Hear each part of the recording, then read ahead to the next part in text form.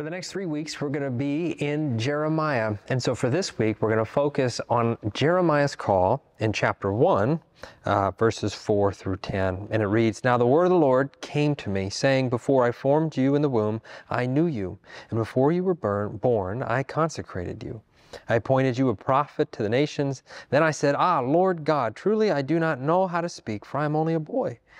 But the Lord said to me, Do not say I am only a boy, for you shall go to all to whom I send you, and you shall speak whatever I command you. Do not be afraid of them, for I am with you to deliver you, says the Lord. Then the Lord put out his hand and touched my mouth, and the Lord said to me, Now I have put my words in your mouth. See, today I anoint you over the nations and over the kingdoms, to pluck up and to pull down, to destroy, to overthrow, to build, and to plant. Friends, the Word of God for the people of God. Thanks be to God for it. Jeremiah is probably one of the most convicting books in the Bible. That much like his other the other prophets uh, in the Bible, like Isaiah and Ezekiel, prophets uh, were called apart from God to speak a word of truth, often calling people and God's uh, the country of Israel, in this case Judah, back into the most righteous ways of living. But I wanted to start this morning by saying that I believe, at least for me, that all people are set apart to play some role in this beautiful thing of God's creation. Everybody's set apart to do God's work in this world in some kind of way. And that what lays the foundation for us to do that is everything that we were born and raised to be.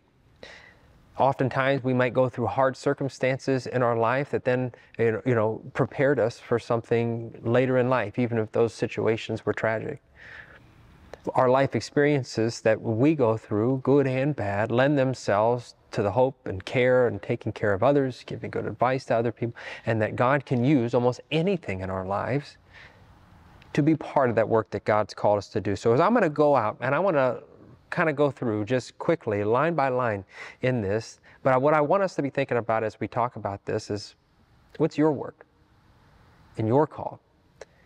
So as I explain a little bit about Jeremiah's work and his call, I wonder if there's anything that you can find parallels into your own life, or maybe you're in a period of your life where you're discerning what it is that God has for you.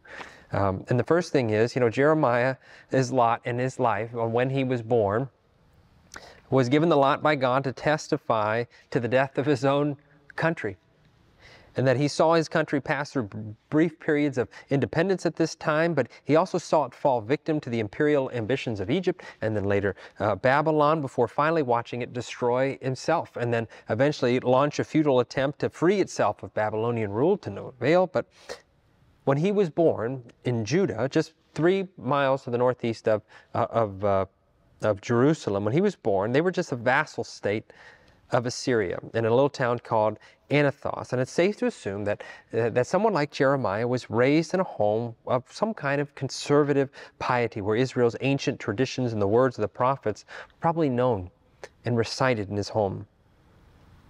We find out later in his writings that he had an extreme bitterness towards the clergy of his day, finding them inept not calling the people back to God's way. And we may suppose that he spent hours of time in prayer and meditation about the nature and meaning of what it meant to be a covenant people and a covenant person with God. And that there was a lot about what he saw in the world that shocked him in his day. Thus, been giving this command to be called apart to call people back and to live in God's way. And he says in verse 4 Now the word of the Lord came to me, saying, Before I formed you in the womb, I knew you. Before you were born, I consecrated you and I appointed you a prophet to the nations. Now, I thought of it, you know, as a dad this week, and maybe if you're a mother or father, you just did something, the same thing I did this week, which is put your kids back on a school bus for another year. And if you can, when I read this text, that before I formed you in the womb, that I knew you, it got me thinking as I put my oldest on the bus this week. He's going to fourth grade. It was a new building and everything for him, and he was really nervous. Get on the bus and, and be with a new class and a, and, a, and a new school building. And when I look back at the days when Erin and I were in Germany, I can specifically remember the first time that he moved in Erin's belly. We were laying in bed that night, and she you know, had me put my hand uh, right there to feel the spot where James was then moving I remember that moment really distinctly. Perhaps more pertinent to this text, I remember when James was born and holding him for the first time, thinking that I already knew him. That in seeing him and holding him and caressing that little that, that, that little boy, that, that there was something about in that in that moment that he was exactly as he should and that he was somebody that I've known for a long for a long time. In that same way, Jeremiah puts the word of the Lord in saying that God knows us before we were informed. More importantly, God knows the role that He wants you to play in this world. And that He was consecrated to do this work for God. In that case, uh, to be made holy uh, and to be, uh, to be set apart for this specific task. But when, when we say that God knew Jeremiah, it, it's a callback to Genesis 19, uh, this idea of being known by God resonated in the same way in Genesis 19 with God knowing his people of Israel, knowing that he's also given them a task for this world. And it says to keep the way of the Lord by doing righteousness and justice in the world. Jeremiah's call and life circumstances brought him to the inescapable awareness that his very life was claimed by God. As I held James there in that hospital, I also knew in that moment that this child was not solely mine. I remember placing my hand on James's head and praying the Lord's Prayer.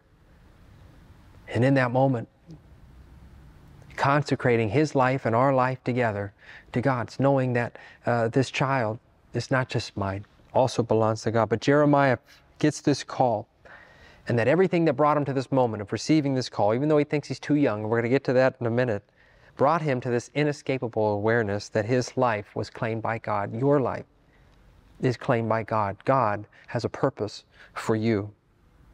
Verse 6 Then I said, Ah, Lord God, truly I do not know how to speak, for I am only a boy.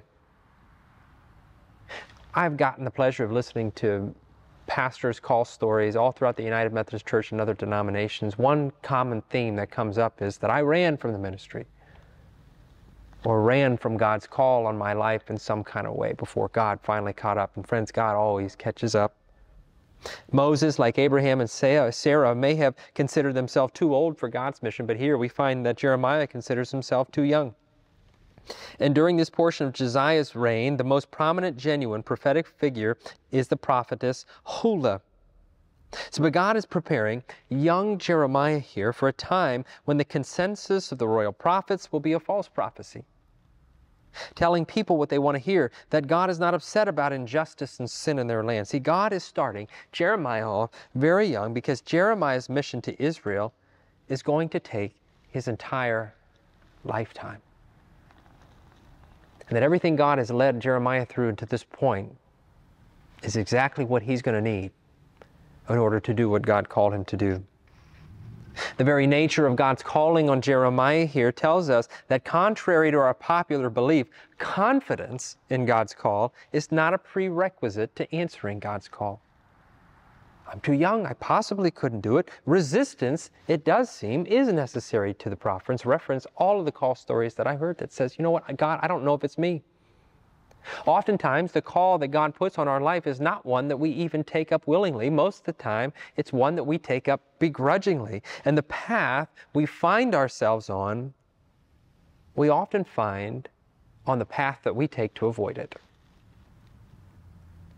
Like I said, it's a common theme when someone knows, feels the nudge from God's Holy Spirit that He's put a certain call on their life, that it should be something that you run from something that you hesitate to answer.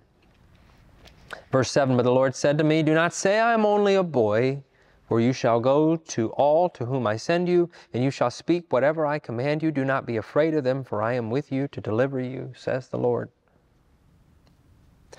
An important lesson that Jeremiah learns here is that God's call in his life is not about his ability, but God's ability.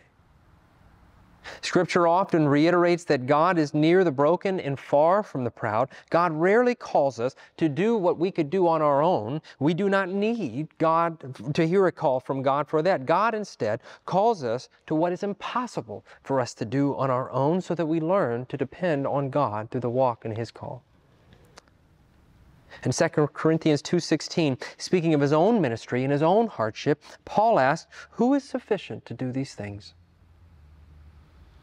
His answer resounds several verses later, not that we are sufficient on our own.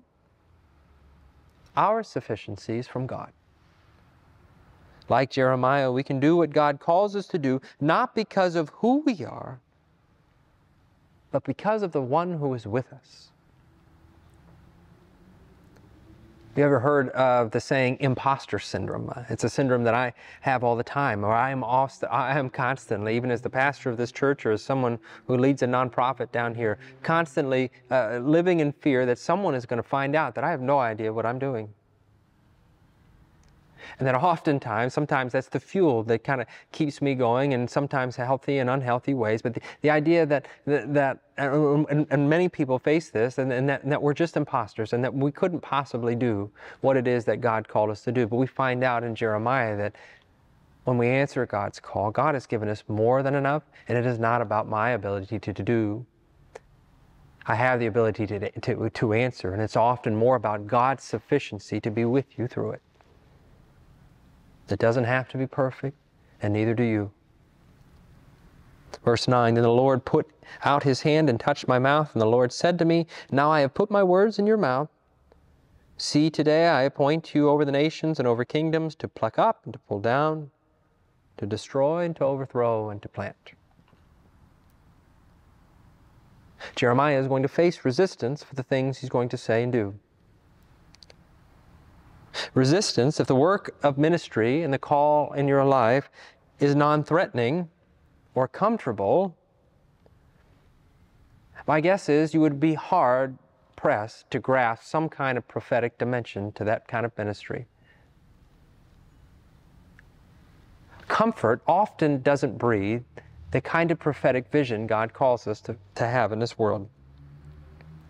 And oftentimes, the kind of opposition and the kind of opposition Jeremiah is going to face in some later chapters here is not direct opposition, but the opposition of consensus. And let me explain what I mean by this. Facing opposition when someone is diametrically opposed to you is often easier than when a prophet is called to face some kind of consensus where opposition provides some kind of clear lines of battle and an enemy to rally support and encouragement around against other people, but to battle consensus, the way things are, the way things have always been, the way things most people want them to be, supporters are harder to come by, in particular, more devoted ones. But finding folks who are willing to go the distance and face down all the challenges that will certainly come through the long haul is something completely different. Jeremiah will be facing something that we call collective sin where it's just the pattern of the age where it becomes something entirely different than what it is that God intended to be.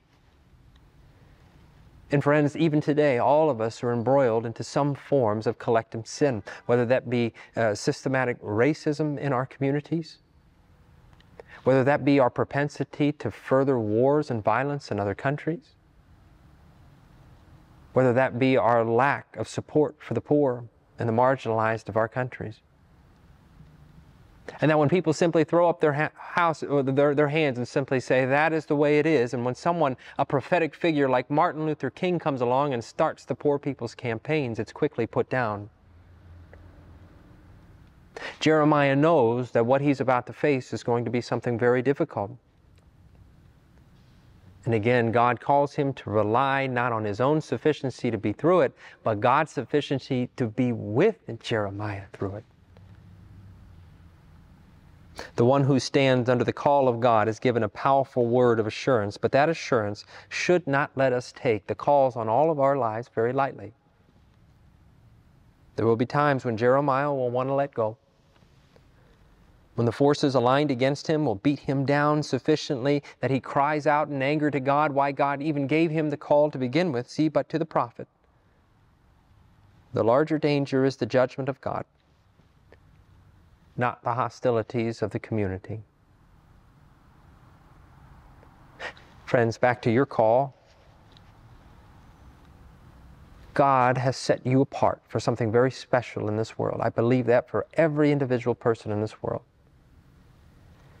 In the same way God placed that call upon the prophet Jeremiah, God calls you. Each of us with our own unique set of gifts to bring to the world something beautiful. I hope you take some time this week on discerning what that is. Knowing that when God gives you that small nudge or even that little whisper within your heart, resistance is expected. Fleeing from that call is expected. And we do not need to rely on our own sufficiency to answer it. Instead, we should rely on God's. Friends, in the name of the Father, Son, and Holy Spirit, I ask you to go in peace, listen for God, and answer the call.